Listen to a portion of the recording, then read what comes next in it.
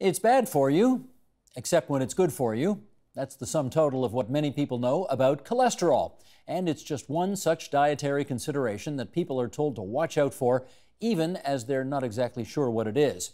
To help us get past the confusing facts about cholesterol, we welcome Dr. John Sievenpiper. He is Associate Professor, Nutritional Sciences and Nutritional Medical Education Coordinator, Faculty Medicine, University of Toronto, and it's good to have you in that chair. Thank you. Thanks, Thanks for, coming in tonight. Thanks for having me on. We just heard in the previous segment from a registered dietitian and from a medical doctor who talked about the difficulty and complication of trying to get good, reliable, solid nutrition science information.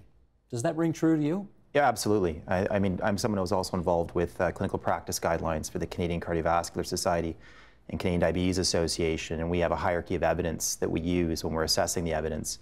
And the highest quality evidence uh, comes from randomized controlled trials, and in particular those on patient important and public health important outcomes like heart attacks, strokes, and death. And what we find in nutrition is we don't have a lot of those trials. We do have some, for example, for the Mediterranean diet, but really there's a paucity of those. We tend to have randomized trials on surrogate biomarkers, such as cholesterol or blood pressure or things like that, and we have observational studies that can look at some of those outcomes, but where we cannot infer causation. Hmm. You do clinical trials all the time, I guess, right, in your line of work? That's correct. Okay, and how are they funded? So what we do is we go to get government funding first. So usually from the Canadian Institutes of Health Research or um, other health agencies like Diabetes Canada or the Heart and Stroke Foundation.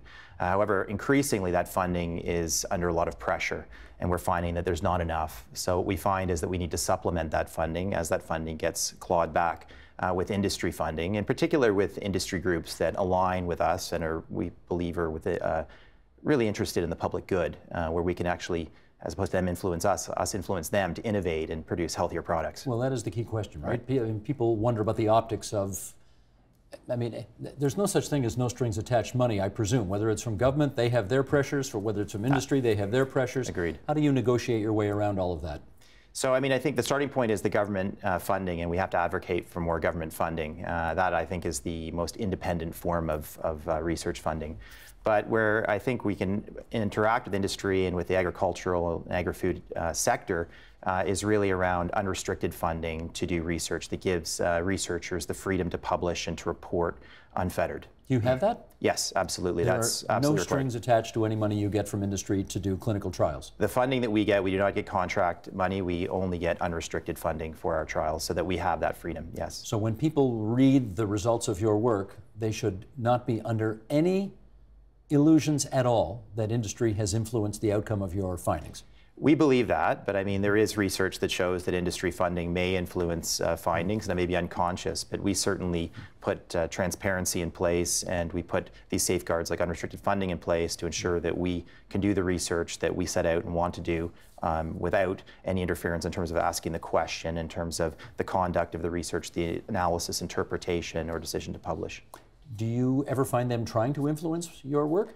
No, on the contrary, I find that industry actually gets it. I mean, there's such pressure right now. They tend to want to be arm's length. They don't want to uh, interfere. Certainly in the area of research where we're doing a lot of our work, that's the case. I see that. I mean, the, the federal government has certainly amped up spending over the last couple of years, almost couple of years that they've been in power, and, you know, $30 billion plus deficits. So uh, one would think there would be more money available to do what you do, and particularly the, as you describe it, it, it is the most independent source of money. Why isn't there? I, I, think there's a lot of political pressures uh, on those dollars. So although spending may have increased, we're finding it's not in the area of health research. In fact, we're finding that now, given the number of researchers and, and grants that are out there, that the funding rate is less than 10%. So less than 10% of grants are getting funded, which means a lot of researchers with really important questions are not getting their grants funded. And increasingly, they're having to look to other sources. On top of that, where it is getting funded, that research, those research dollars tend to get clawed back. So what we ask for, we don't get uh, the total amounts. Then we have to go and look for other sources to make up that uh, shortfall. Gotcha. Okay, John, let me just take a second here to point out that after this program airs tonight, TVO is going to air a documentary that is critical of both the food and medical science behind the cholesterol issue. And that's one of the reasons we wanted you here because with that background having been put in place, we want to get a better understanding of cholesterol because I think we hear a lot of conflicting information about it. Let's see what we can nail down here. Starting with the basics. What is it? Well, cholesterol is actually synthesized by the body. Uh, synthesized meaning? Meaning it's made by the body. It's, it's essential. It's used in the digestion of food. It's used, it's in all the membranes of all of the cells in the body. And it's used to make very important hormones, steroid hormones in the body. For example, sex hormones like um, testosterone and estrogen, as well as hormones that control stress response, the glucocorticoids, or even electrolyte and fluid balance. So it's, uh, and for that matter, vitamin D, which we make from uh, sunlight, the precursor for that. So it's a, it's a, it's a, it's a, um, if you like, a molecule that is essential uh, to life, absolutely. And, you know, this is a layman's look at it, obviously, but I've always been told there's good cholesterol and bad cholesterol. Are there more than two different kinds of cholesterol? Absolutely. So, uh, like anything, I mean, just because it's essential and is used in cells doesn't mean that too much is a good thing. And we can see that with glucose. For too much glucose, you can get diabetes, or too little, you get hypoglycemia. Too much blood pressure, you get hypertension. It's the same thing here. It's, everything has to be in a fine balance. And we find is when we have too much of the bad cholesterol, which is the low density lipoprotein cholesterol called LDL cholesterol, that we find that this is atherogenic and is causal. It is what? Atherogenic. It causes atherosclerosis or the hardening of the arteries, the plaques uh, deposits, the fatty deposits in the arteries that lead to heart attacks and strokes and death from those. Okay, I suggested good cholesterol versus bad cholesterol. Um, you know, is is it actually fair to label LDL, bad cholesterol, and the other, what's the other one called? Uh, HDL cholesterol. HDL, and, and is it fair to call that the good cholesterol? I think in very simple terms it is, because the HDL cholesterol tends to be like a mop that goes to the system and takes up uh, the excess cholesterol. Um, so it actually helps uh, the system regulate. Uh, the LDL cholesterol, on the contrary, when it's too, mu uh, too much, is the one that ends up into the uh, walls of arteries and can lead to this process called atherosclerosis. Now, one of the nice things about working here is I've already seen the documentary mm. that airs immediately after this program. So one of the things they say in that documentary is that as you have described it, the cholesterol that is created naturally or synthesized naturally by the body itself in the view of the people quoted in the documentary, 70% of that is good for you. Do you sign on to that? Well, I think it would depend on your level. Uh, so if you're producing too much and you're not regulating it, then I would say that uh, that percentage might be less. But in, I think, healthy individuals, um, from my understanding, that might be reasonable. And how do you yeah. regulate it? So it's regulated by uh, the cells, the express receptors that actually take it up to take it out of the bloodstream where it can cause problems with the blood vessels. So one way to do that, I mean, genetics predisposition is an important one. So we have to know that there are people that are pre uh, genetically predisposed to have very high LDL or bad cholesterol. And these people are at high risk of having heart attacks very early in life, in their 20s and 30s and, and 40s. Um, and you see this in whole families. So in these people, uh, very high, uh, they have very high cholesterol, and, and it's certainly problematic. Um, but in mo most of the population, uh, where, with average cholesterol levels, and even in those with the very high cholesterol, we can regulate that either with medications or the first, the cornerstone of all uh, of everything we do is diet and lifestyle. Mm. Now, again, I'm going to overly simplify this right. thing, and then you help us right. with a, a better understanding. It seems logical to me that the more cholesterol you ingest into your body, the higher your levels will necessarily go up. Does that in fact follow? So this is an important distinction you're making. So there was the cholesterol that's endogenous we make in the body that we talked about, but there's also the cholesterol that comes from the diet, which is exogenous. So that cholesterol can in fact influence your cholesterol levels. There's some question whether that relates to cardiovascular events like heart attacks and strokes and death from those. But if you consume too much dietary cholesterol, in particular in people that are predisposed to having high cholesterol, it can increase cholesterol. But the main driver of cholesterol appears to be saturated fat in the diet. Okay, and what is the correlation between high cholesterol levels and heart disease? So high cholesterol is causal uh, in terms of heart disease as it relates to heart disease that's caused by atherosclerosis, this process of uh, depositing of, of, cholesterol in the vessels. So it, it, gets too high, it gets into the vessels, and one gets either occlusion of the vessels or develop, you can develop something called thrombi or emboli. This is where parts of the vessel wall will be thrown off and actually occlude and cause a clot, which will block a vessel and lead to ischemia of the heart. So let's nail this down, because in the documentary that we're going to show right after this program, there is a you know, great debate over the last five decades as to whether or not the cholesterol you ingest, what's the word you use? It starts with an O? Oh, exogenous. Exogenously, okay, exogenously, definitely leads to heart disease. In your view, does it? Uh, I would say that I think it's less clear about the, the, cholesterol we consume, but the cholesterol that's in our system that's as a result of what we consume, what we make, very much is causal uh, in heart disease. It is causal. So yes. you will draw a straight line yes. between too much yes. cholesterol and heart disease. And the reason I can be so confident in that is we have very large randomized controlled trials. In fact, we have 27 trials in over 174,000 individuals that have been randomized to statins, for example, versus control or lower doses of statins. And we find when we in either in primary prevention or secondary prevention of heart disease that we see reductions in events that correlates perfectly with the reductions that we see in LDL cholesterol. And we also have a number of other drugs that have been developed to target LDL cholesterol through different mechanisms, which also show a cardiovascular benefit, which is to show they show less heart attacks, less strokes, and less death from heart attacks Let me follow up on statins, because again, the documentary afterwards, th th there are those in the documentary, experts as yourself, who will say statins don't do a damn thing to reduce your cholesterol level, and frankly, it's a waste of money. What's your view?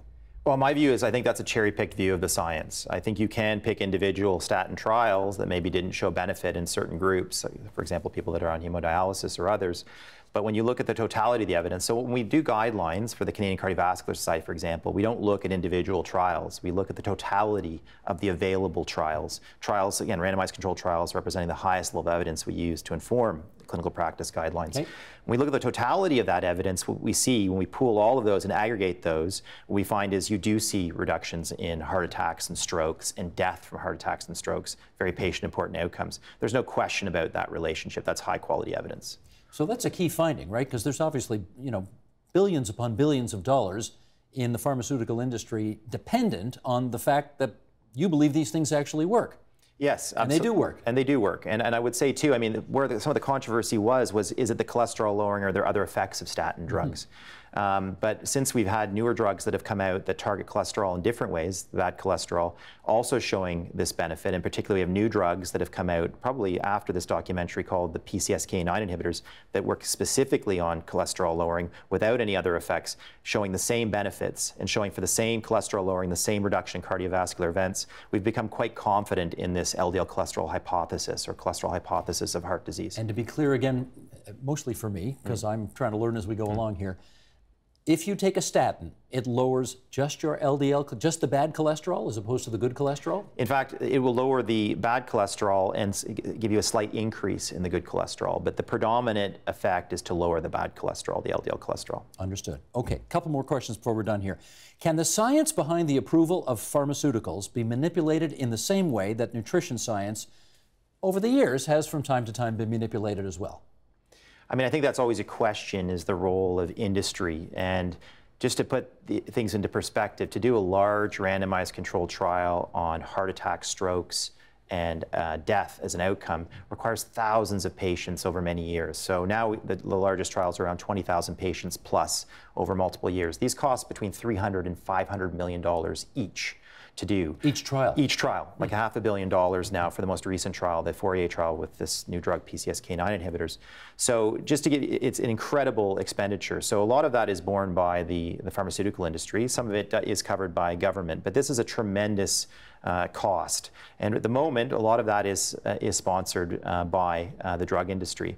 But things have been put in place to ensure that, uh, safeguards, if you like, and transparency guards to ensure that uh, there's the minimum amount of influence. So all trials have to be registered now. The protocol has to be registered in terms of what one's going to do so one can see that one does it as one set out to do and didn't change things midway through or go on a fishing trip.